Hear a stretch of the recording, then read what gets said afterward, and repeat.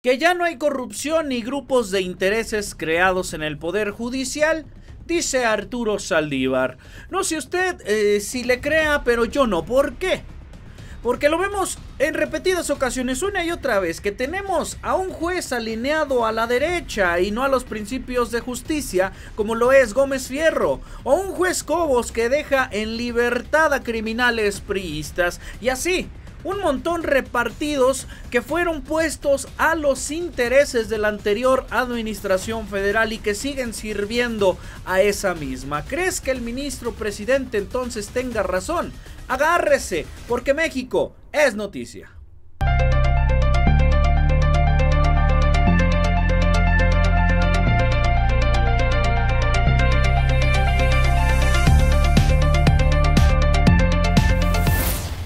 Bienvenidos, gracias por su apoyo, un abrazo y un saludote para todos ustedes. Mi nombre es Víctor Villalpando, gracias por acompañarme en una emisión más aquí a través de MX es Noticia. Antes de iniciar, le voy a pedir que me ayude apretándole ahí a la manita arriba, que se suscriba y que le apriete a la campanita para que YouTube apoye acá a estas voces independientes. Y vámonos directamente con la información, señoras y señores porque las palabras de Arturo Saldívar fueron de que a tres años se acabó con esas... Em, esas eh, eh, esferas de poder dentro del poder judicial que eran mandatadas mediante ciertas instituciones. Y estamos hablando de partidos políticos o una línea ideológica. Para no hacerla tan larga por el PRI por el PAN Así de simple. O en el caso de que está mandando el presidente López Obrador y Morena. Creo que el presidente ha sido respetuoso con la separación de poderes. Pero hay quienes no han entendido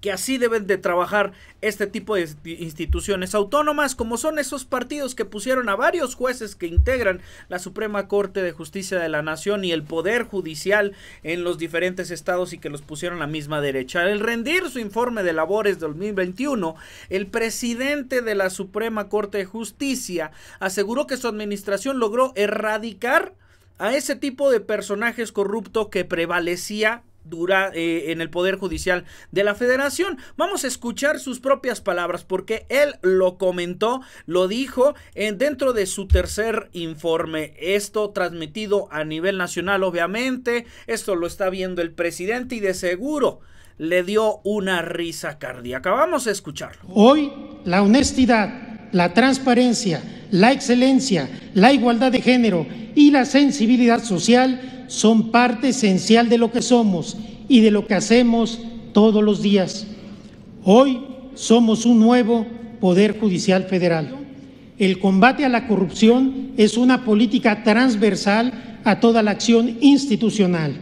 Bajo un criterio de cero tolerancia, hemos perseguido y sancionado la corrupción en todas sus formas y a todos los niveles. Puedo afirmar categóricamente que en el Poder Judicial de la Federación ya no hay corrupción tolerada ni institucionalizada, ya no hay corrupción avalada o auspiciada desde arriba. Con el nuevo sistema de carrera judicial y la implementación... Y fíjese que en eso eh, en parte tiene razón. Desde arriba, que se está refiriendo al presidente López Obrador, eso estamos más que seguros que hubo un gigantesco cambio pero todavía hay líneas ideológicas que no deberían de existir porque pues se garantiza la justicia, no la ideología en el poder judicial. Sin embargo, bueno, ahí le tenemos esos ejemplos que le decía desde un inicio. ¿Qué piensa el presidente López Obrador? Mire, yo coincido con el presidente. Saldívar es, sí, al menos para mí, lo, lo, lo digo de manera sincera, Creo que es un personaje que sí destaca, un personaje que sí hace bien su chamba, que de repente se le va una que otra, pero nadie es perfecto.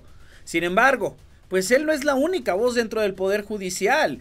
Y eh, todos los ministros que le integran, pues bueno, muchos, le insisto, vienen de eh, administraciones pasadas o impuestos, no propuestos ni puestos, sino impuestos por políticos de la derecha o de las administraciones pasadas y siguen teniendo una carga ideológica y sirviendo sobre todo a esa carga ideológica, algo que no debería de suceder.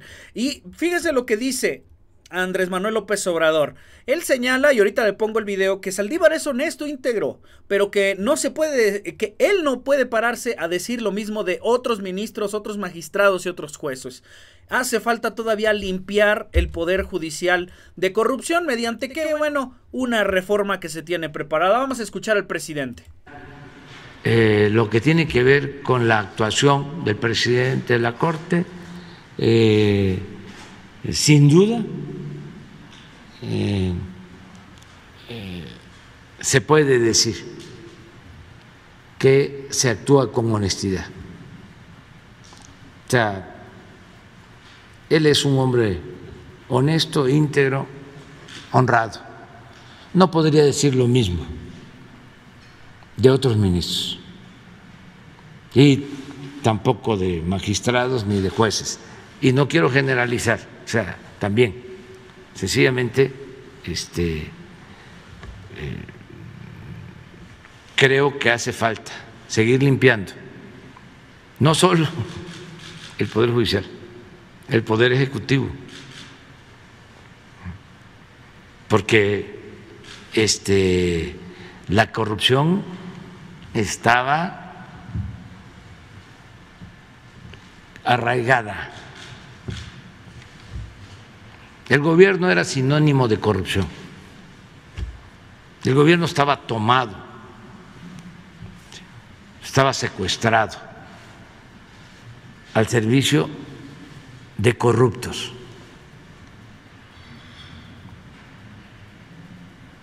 No solo de delincuencia organizada, no solo era el caso de este señor García Luna, no, también estaba tomado por la delincuencia de cuello blanco, porque eso suele olvidarse. Acuérdense cómo nos este, manipularon durante mucho tiempo haciéndonos creer que el ratero era el que se robaba una bolsa en el mercado, que se robaba una gallina, un pavo, la ropa tendida en el patio, los cilindros y bueno, señoras y señores, claro, por el presidente López Obrador es que eh, eh, señala específicamente que muchos de estos ministros, jueces y magistrados han defendido durante muchísimos años a esos delincuentes de cuello blanco, algo frustrante para la población, algo por lo que el mismo pueblo de México los castigó y los sacó del poder, porque si los jueces los defendían, pues bueno, la única manera de deshacerse de ellos era sacándolos a la fregada de este, eh, de del gobierno y de los gobiernos estatales, municipales eh, y el federal que cada día, bueno, sigue sacando a esta cloaca de corruptos eh, y los partidos a los que representaron o están representando actualmente. Señoras y señores, para muestra de ello es que, bueno, le decía Gómez Fierro, Gómez Fierro... Eh, es obviamente, es obvio, no le disimula nada que es servil a la derecha. Eh, amparo que se presente y si es presentado por eh, la derecha, por, eh, por el PAN, por el PRI, por eh, algún algún allegado a Claudio X o el mismo Claudio X aceptado y luego luego a suspender lo que dijo Andrés Manuel López Obrador. Llega algo aceptado y a suspender lo mismo. Y luego ya llegan presentando, por, por, por supuesto, llegan presentando los datos de que, ay, miren, un juez, un juez dijo que, que Andrés Manuel López Obrador no tenía razón y ese juez debe de tener la razón cuando cuando está aceptando más de 150 amparos. Pues esos 150 amparos fueron puestos por la misma persona y en la misma situación. Así es como están actuando. Entonces, a mi parecer hace falta una limpieza dentro del poder eh, judicial y creo que Arturo Saldívar debe encargarse de ella por ser el presidente de ahí de la Suprema Corte de Justicia, la Suprema mm, de Corte de Justicia de la Nación. ¿Usted qué cree? ¿Usted qué piensa?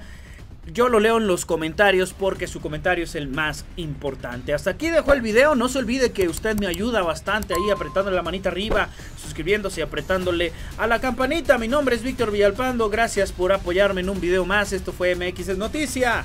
Nos vemos en la siguiente.